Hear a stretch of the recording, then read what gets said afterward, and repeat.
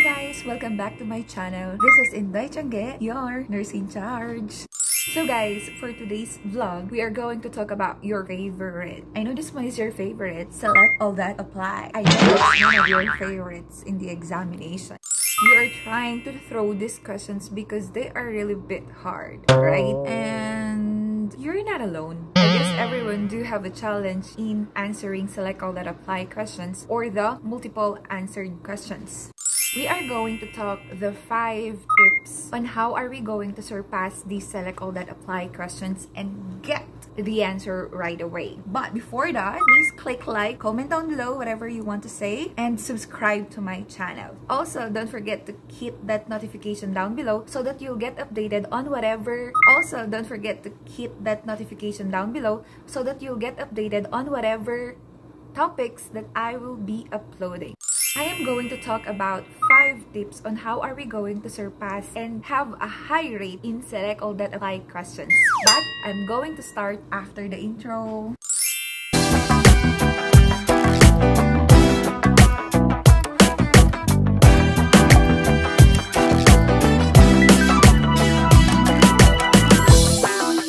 By the way, select all that apply questions has been debated in a lot of nursing schools and not only in nursing schools but also in review centers. There is question here. How many correct answers can SATA questions have? Can there be only one correct option? And can all the answer options be correct? So there are a lot of questions pertaining to these select all that apply questions. And to answer this question, I went directly to the NCSBN and hear what they mentioned. It says here, multiple response items may require a candidate to select a single correct response, have more than one correct response, or require all responses to be correct regardless of the number or possible responses challenge here is that you already selected, for example, two to three answers from the choices. There is no partial credit. That means if you did not select all the right options, your answer is also wrong. It is all or nothing. Okay, so select all that apply option is really hard, especially for those nursing students who are still striving or trying to survive in nursing school.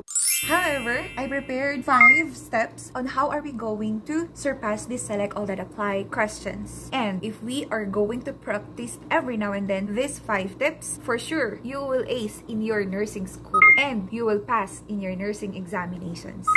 Number one on the list is take time. Take time to read the questions. For example, your clinical nursing instructor gave you already your paper test. Do not ever hesitate to read the questions more than twice or thrice, okay? Because for the first time that you are going to read the question, that means it's just a general reading. You did not get yet what is in the question or it's just proofreading. The second time that you already read the question, that means you are already highlighting the keywords. So for the first one, it's just a general reading. The second one, you are already highlighting the keywords. And the third one is you are already debriefing on what is needed. Okay, mm, so let's try this. A patient reported in ED for chest pain radiating to the left arm. What do you think are the things to be done? Select all that apply. So for the first time that you read this question, it's just proofreading, meaning to say you might understand already the scenario, but you did not get yet what is in that scenario. So we'll repeat. We're going to read again. This is the second one already, we need to highlight the keywords. Patient reported in ED for chest pain radiating to the left arm. What do you think are the things to be done? So, can we identify what is the keyword here? The keyword is ED. That means it's an emergency because the patient went to emergency department. Another keyword is chest pain radiating to the left arm. So, chest pain radiating to the left arm, meaning to say we are already referring to the circulatory system, the heart. Next one, what do you think are the things to be done? So, we have three keywords here. First, emergency department. Second, chest pain radiating to the left arm. And the third one, things to be done. So the question is asking for the interventions to be done when the patient reported to you and you are in the emergency department. So that is the first step in doing the select all that apply. By the way, to add on, before you are going to read the question, you must cover first the choices because the choices will just confuse you when you are reading the question. So, before anything else, cover first your answer or cover first the choices, I should say, and go to that question, read three times. And the second step is evaluate each choice individually. So in this scenario, we have choices give 5 mg morphine, assess for active pain or pain history of the patient. Number 3, administer 8 tablets of 81 mg aspirin. Number 4, perform EKG or ECG. And number 5, check patient's medication history if the patient is taking any medication for impotence. So we have 5 choices here and this question is select all that apply. So the second step as I've mentioned earlier is that evaluate each choice individually. When you are already in the choices and trying to select the correct option, better check your highlighted phrases or your highlighted keywords. So number one here in the choices is give 5 mg morphine. I do have a question. Does the patient have pain? Yes, the patient is having chest pain that is radiating to the left arm.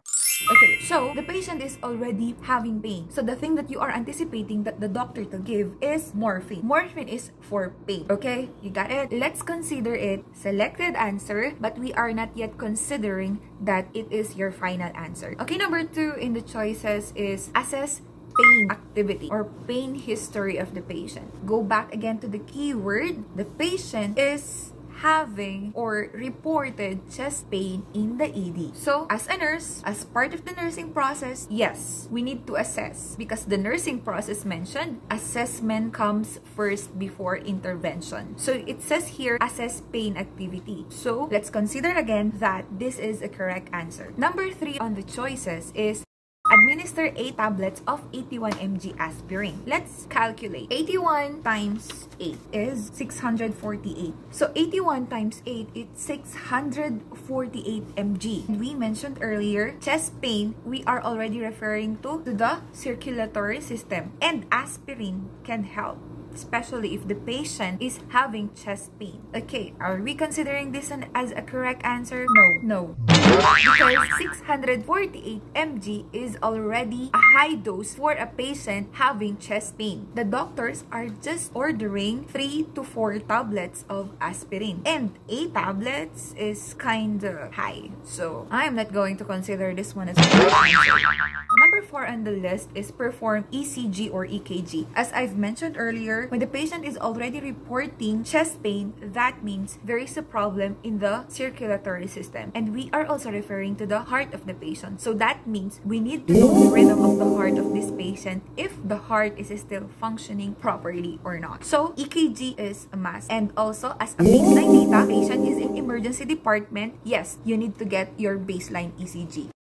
Last is check patient's medication history if the patient is taking any medication for possible impotence. Is this the correct answer? Let me just tell you. A patient who is taking medication for impotence is having also a low BP because all medications for impotence causes hypotension. One of the examples is sildenafil or the Viagra. And one of the side effects of that medication is decreasing blood pressure of the patient. Now, I do have a question. You are actually looking for things to be done for this patient. Your patient is having chest pain and you are in the emergency department. That means once the patient is in the emergency department, we are looking forward to at least give first aid. And as part or one of the medications to be given in a patient with chest pain who are coming to the emergency department is nitroglycerin or NTG. Also, one of the side effects of NTG is decreasing the blood pressure. So you need to know the history of the patient if the patient is taking Viagra because if the patient is taking Viagra and you are going to administer nitroglycerin also, there will be a detrimental effect to the patient. It will decrease more the blood pressure of this patient. You need to assess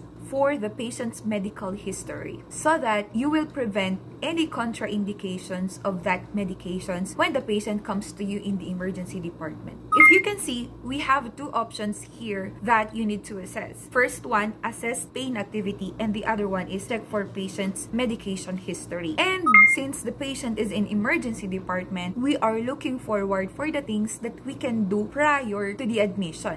By this time, we are already done with the two steps. First, read the question. Not only once, twice, but thrice. Okay? The next one is evaluate each choice individually. And we're done with it. We actually removed the option number 3, which is to administer 8 tablets of 81 mg aspirin because we consider it as an overdosage. The third step is treat each selected option true or false. Once you already treated all the options or you selected some options already, the next to that is you need to consider it as true or false. So, let's consider this one. Number one, give 5 mg IV morphine. Is it true or false? True, right? Because the patient is having pain.